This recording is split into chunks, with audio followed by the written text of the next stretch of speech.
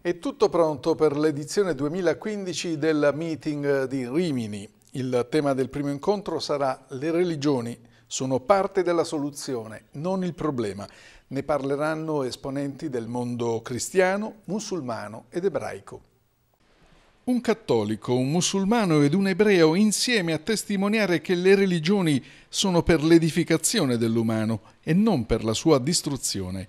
Il meeting 2015 di Rimini verrà inaugurato il 20 agosto con un dialogo tra il cardinale Jean-Louis Touran, presidente del Pontificio Consiglio per il Dialogo Interreligioso, Azedin Gaci, rettore della moschea Otman a Lione, e Haim Corsia, gran rabbino di Francia. Tema dell'incontro le religioni sono parte della soluzione, non il problema. Religione vuol dire relazione, relazione dell'essere umano, dell'uomo con Dio, ha sottolineato il cardinale Touran in una recente intervista per presentare l'incontro. Tutto questo esige una giusta relazione con il creato e i veri adoratori di Dio sanno di essere custodi gli uni degli altri. Per questo le religioni sono parte della soluzione e non il problema, perché facciamo parte di un'unica famiglia umana ed è questo che dobbiamo ricordare.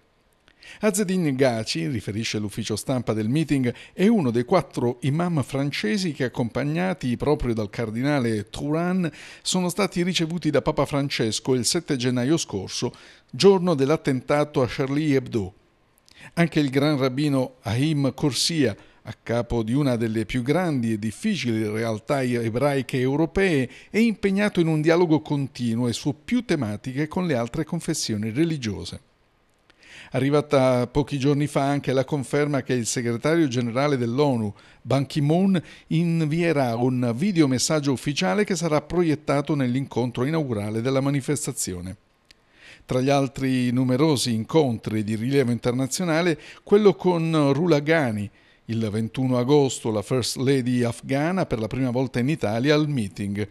Ripartire dal Mediterraneo, un orizzonte per la politica internazionale e poi il tema dell'incontro di lunedì 24 agosto che vedrà dialogare il ministro degli affari esteri italiani Paolo Gentiloni e il suo omologo tunisino Tayeb Bakouché.